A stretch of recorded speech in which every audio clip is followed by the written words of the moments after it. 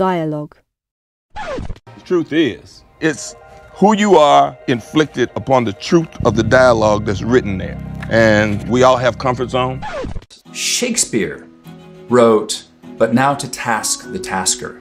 And in another play, Dost dialogue with thy shadow, turning both task and dialogue into verbs. And constructive conversations that really move the dialogue forward have these same three essential features.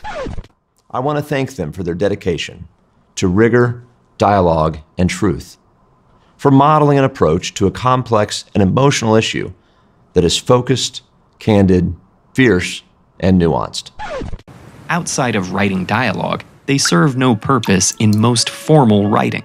And in some contexts, the stigma these social cues carry can work against the speaker. Again, if AI, even if it generates completely plausible dialogue, answers questions just like we would expect, it may still be an imposter of sorts. Consider shows with slower dialogue, clear pronunciation, and simple plots, especially if you're a beginner. Having an open dialogue with them, understanding their interests and their skills, being aware of their needs, keeping that communication channel open is the way.